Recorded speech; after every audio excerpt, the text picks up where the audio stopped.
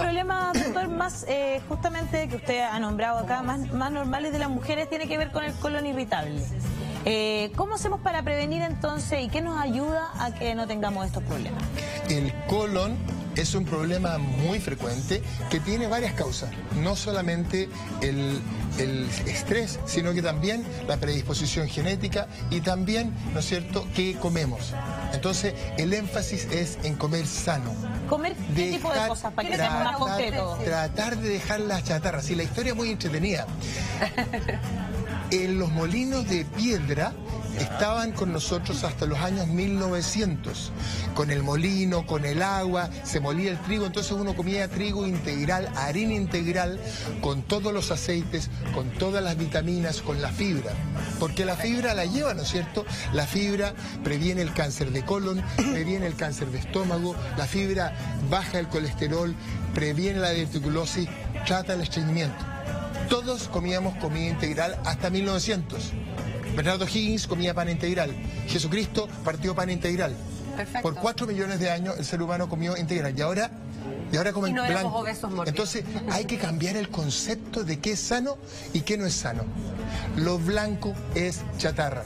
Lo blanco es chatarra, es un término. Entonces la comida con masa blanca que se inventó recién en 1900, hay que cambiarla de nuevo a lo más natural, a lo más integral. Entonces, ensaladas, verduras, fruta y comida integral. Ahora es difícil, Y ¿no es masa, cierto? o sea, Porque si vamos a comer lo- carbohidratos, masa, digamos, hay que cambiarlo Integral. todo por integral, incluso los fideos, qué sé yo, el arroz Esa, también. esa es idea. Ahora, el- es, es difícil. ¿Por qué es tan difícil? Porque el cuerpo tiene sensores de las calorías y las calorías están en lo blanco.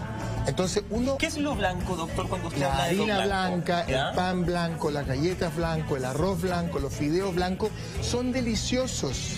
Son ricos porque nuestro, nuestros papilas gustativas solo, doctor, entonces las no buscan. Entonces. Michael, tú tienes que comprar pan integral. Tú tienes que comprar paltitas, verduras.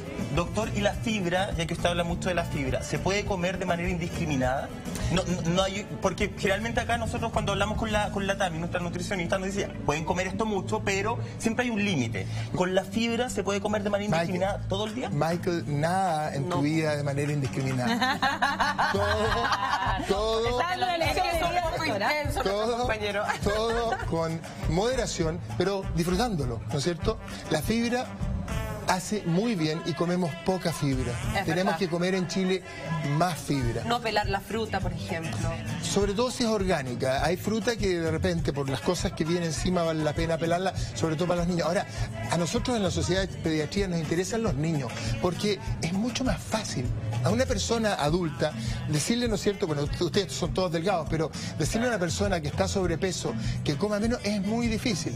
Si tú a un niño le enseñas a comer sano, le enseñas a comer en cantidad aceptable, le Le enseñas a hacer vida. más actividad física, salir más al aire libre, ese niño aprende y ese niño lo sigue de por vida. Entonces hay que enfocarse en la prevención, porque prevenir es mejor que curar. ¿Y por qué nos enfermamos tanto doctor? Aparte del estrés.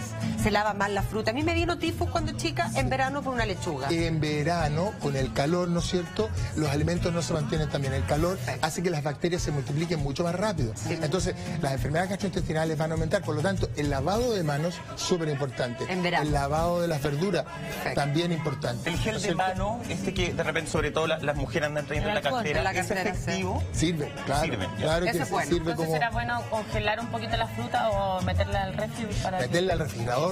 De todas maneras, Camila, yo creo que es súper importante, sobre todo el lavado de manos antes de ir comer, ¿no es cierto? Enseñarle a los niños que si van al baño, después se laven las manos.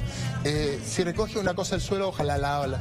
Es que es tan difícil decirle a los niños que se laven las manos. Es cinco difícil, y la verdad- bueno, los cinco segundos sí, ¿verdad? Cuando dije- dicen que si se cae algo cinco segundos alcanzáis a Yo recoger. ya voy en 10, ya voy en 10. ¿En serio? Yo no había escuchado eso. ¿En con- serio, no? yo con- yo con mis hijas de 11 meses sigo la regla de los 5 segundos. ¿Tienes hijas de 11 Tengo hijas de 11 ¿Y meses. Entonces, entonces, Ale, la verdad es que eh, hay una teoría de la limpieza. Si tú eres excesivamente, lo que decía Michael sobre los excesos, ¿no es cierto? Si tú eres excesivamente limpio, no alcanzas a desarrollar defensa.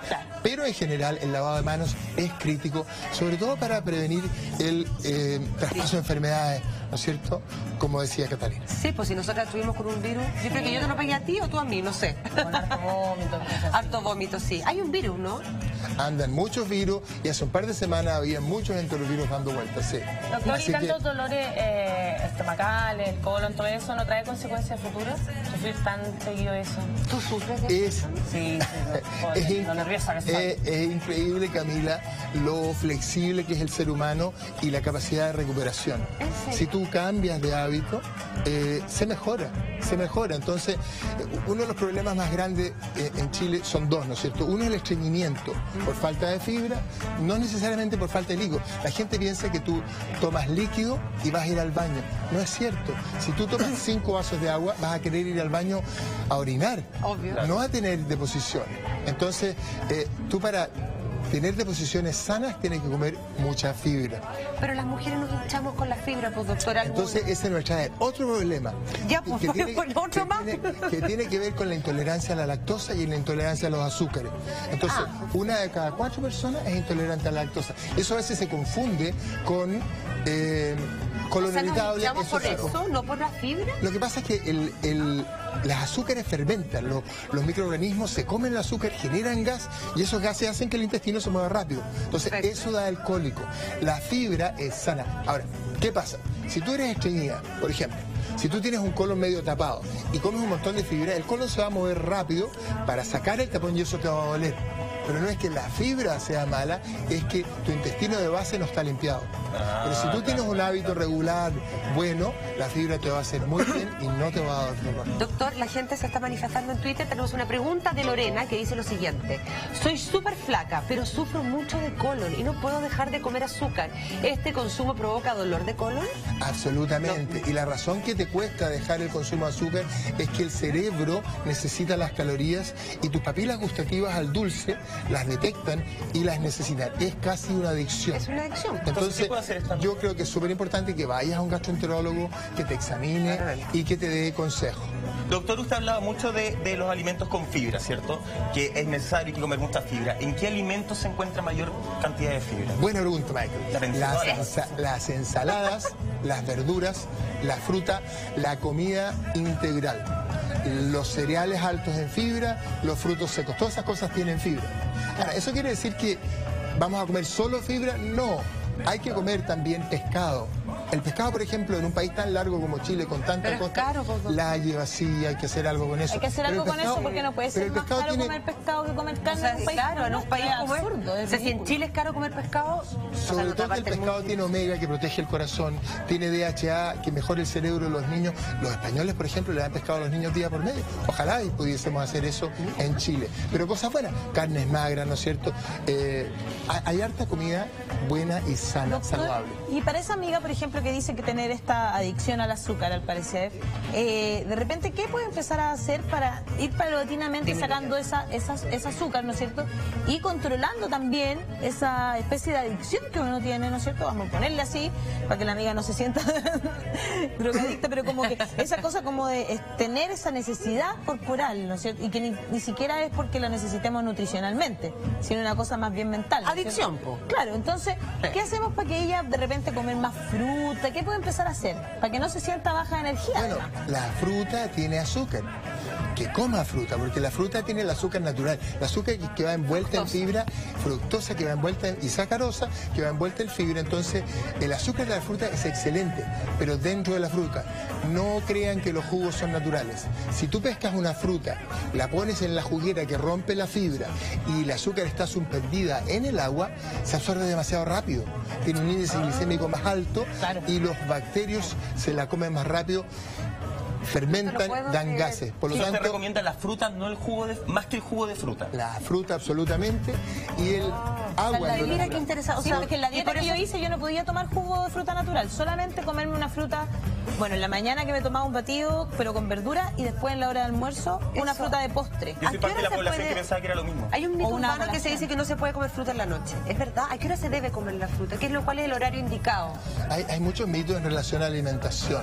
Hay que escucharle al cuerpo, pero la fruta es sana casi siempre. Perfecto. Obviamente no te vas a comer un- una fruta muy ácida en la noche, sobre todo si tienes reflujo. Pero la fruta puede comerse en cada una de las comidas. Y en relación a comer sano y el colon, el tomarse el tiempo para comer, ¿no es cierto? Si uno come apurado, obviamente que el colon no va a estar preparado para digerir bien. Es súper importante tomarse el comer, tiempo para comer. comer en familia, comer con tiempo y comer en los horarios. Ojalá unos 20 minutos, por lo menos que uno tuviera a la hora de Claro, almuerzo, lo ¿no que sé, más porque cuesta, yo debería. creo. Eso es complicado porque con los horarios de la gente.